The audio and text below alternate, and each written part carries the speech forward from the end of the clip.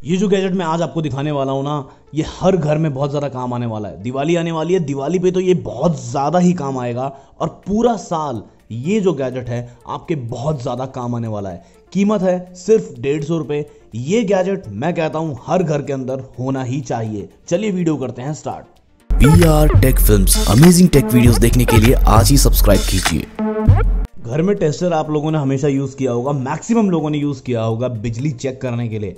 ये होता है कॉन्टैक्ट टेस्टर इसको हम बिजली में कनेक्ट करते हैं। यहाँ पे हमको अपनी फिंगर टच करनी होती है और इसमें यहाँ पे लाइट जल जाती है, जिससे हमें पता चल जाता है कि जो फ़ेज़ वाला करंट है, वो आ रहा है या नहीं। लेकिन ये है नो कॉन्टैक्ट लाइव टेस्टर तो इसको हम आज टेस्ट करेंगे चेक करके बताएँगे। लेकिन उससे पहले मैं आपको एक बहुत ज़रूरी चीज़ दिखाना चाहता हूँ और कुछ बताना चाहता हूँ। यहाँ पे आप देख रहे हैं ना, कुछ गैजेट्स पड़े हुए हैं। यहाँ पे आप देख सकते हैं, यहाँ पे एयर प्योरीफायर है ब्लूटूथ स्पीकर है, इधर भी एक ब्लूटूथ स्पीकर है। ये मेगा फ़ोन है, जिसमें एक ब्लूटूथ स्पीकर है। माइक्रोफोन है प्रोफेशनल्स के लिए मॉस्किटो किलर है। ये मिनी पीसी जिसको मैंने डीआईवाई प्रोजेक्ट किया था। उसके अलावा यहाँ पे आर हेडफोन्स हैं। यहाँ पे एक ब्लूटूथ स्पीकर है। इन सब गैजेट्स के मैं रिव्यू कर चुका हूँ, लेकिन आप में से मैक्सिमम लोगों ने इस तरह के गैजेट्स नहीं देखे हैं। आप प्लीज़ इन वीडियोस को ज़रूर चेक कीजिए। मेरे चैनल पे आपको मिलते हैं प्रोफेशनल टेक वीडियोस बहुत ही कमाल के तो मेरे रीसेंट वीडियोस ज़रूर चेक कीजिए। और हाँ अगर आप पीछे की तरफ़ देख रहे हैं, यहाँ पे वन प्लस की पावर बैंक पड़ी हुई है, जो कि रिसेंटली लॉन्च हुई है, इसका भी मैंने पूरा रिव्यू कर दिया है। और जो आप ये पीछे लाइट्स देख रहे हैं, ये वाली लाइट्स या वो वाली लाइट्स या और भी बहुत सारी लाइट्स तो मैंने दिवाली स्पेशल वीडियो बना दिया है। उस वीडियो को ज़रूर चेक कीजिए। दिवाली लाइट्स का स्पेशल वीडियो है। तो चलिए अब बात करते हैं हम इस प्रोडक्ट की जिसके ऊपर आज हमारा ये वीडियो बन रहा है। तो ये है यहाँ पे नो कॉन्टैक्ट टेस्टर तो काफ़ी सिंपल सी पैकेजिंग में आता है। ये टेस्टर है। साथ में दो बैटरीज हमको जो है, पहले से मिलती हैं। फटाफट से इसको बॉक्स में से निकाल लेते हैं।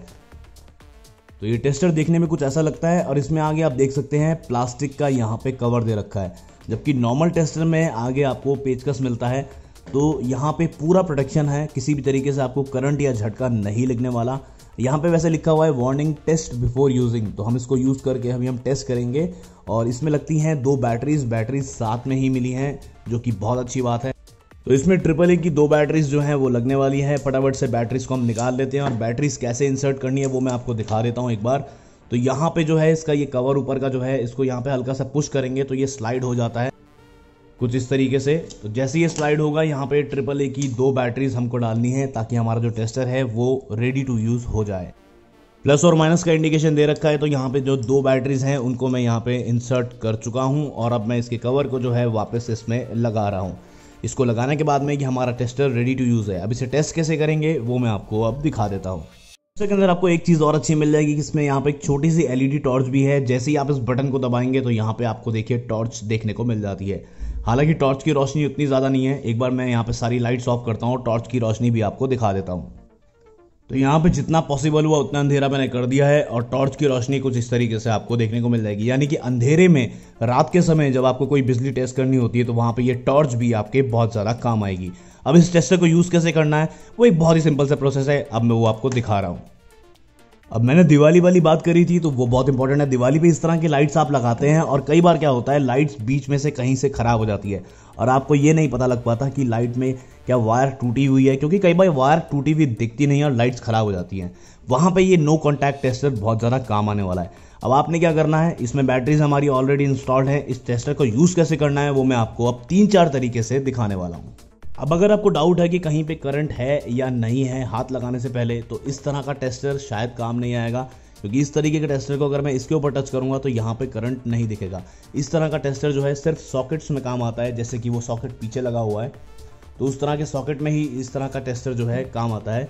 लेकिन ये वाला जो टेस्टर है, ये आप जैसे ही किसी भी बिजली के पास में ले जाएँगे, अगर वहाँ पे करंट है तो ये आवाज़ करने लग जाएगा और इसमें एक लाइट ब्लिंक होने लग जाएगी।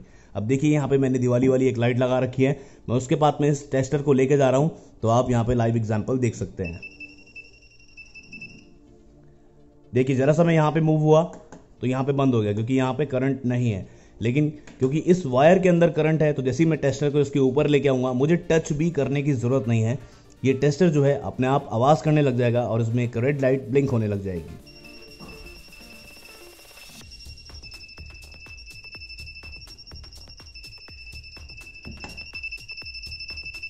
तो आपने देखा, अब मैं इसकी एक बार वायर निकाल देता हूँ।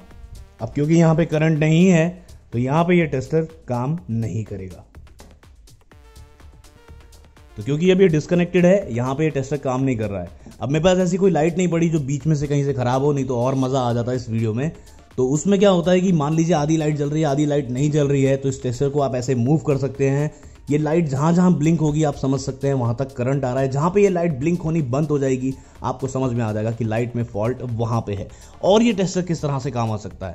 मैं यहाँ पे आपको एक और एग्जांपल दिखा रहा हूँ। आप यहाँ पे देख सकते हैं, दो वायर लगी है, एक वायर में करंट है, एक में नहीं है। लेकिन अगर मुझे पता लगाना है कि किसमें करंट है, किसमें नहीं है तो इस टेस्टर को मैं लेके जाऊँगा। पहले हम ब्लैक वाली वायर पे लेके जाते हैं। तो देखिए, यहाँ पे कोई करंट हमको नहीं मिल रहा है। ठीक है, मैं टच भी नहीं कर रहा हूँ इनफैक्ट कभी टच भी करके दिखा देता हूँ आपको, क्योंकि यहाँ पे प्लास्टिक है तो आपको कोई शॉक लगने का खतरा नहीं है।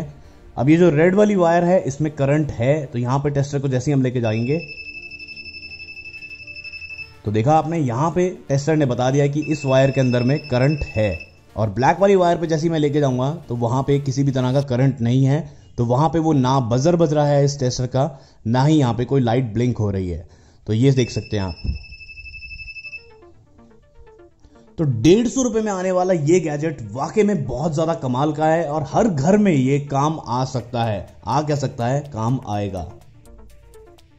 अब छोटा सा एग्ज़ाम्पल मैं आपको और दिखा देता हूँ। यहाँ पे स्विच बोर्ड पे, स्विच बोर्ड पे जबकि देखिए यहाँ पे एक स्विच ऑफ़ है और एक स्विच ऑन है, लेकिन क्योंकि इसके पीछे फेस की तार लगी होती है तो स्विच के पीछे करंट है या नहीं, ये स्विच ऑन या ऑफ़ करने की भी ज़रूरत नहीं है। आपको यहाँ पे पता चल जाएगा। ये देखिए ऑफ़ वाले स्विच के ऊपर ले जाने के बाद में भी यहाँ पे दिखा रहा है कि करंट है।